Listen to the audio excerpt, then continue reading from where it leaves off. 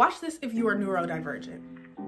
If you are neurodivergent or have suffered from some sort of bad social experience that causes you to not realize um, unrequited dynamics in connections, or if you just blatantly disregard somebody really not reciprocating energy, then you could be more susceptible to being preyed upon emotionally, mentally, spiritually, and psychologically.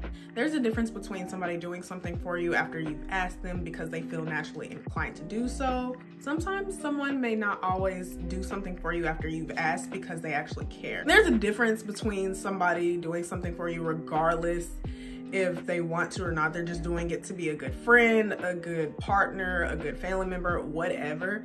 But sometimes they may be doing it simply because they don't want to lose access to you. They like to be involved in your personal life. They like to have you around because it benefits them for whatever reason. So don't be fooled and accept objective truths for what they are. Because if people can pick up on the fact that you have empathy for them, or if you just truly can't discern whether they are using you or not, they're going to keep using you. It's okay to meet people where they are, but it's also better to accept people where they are and move accordingly. That's all for today.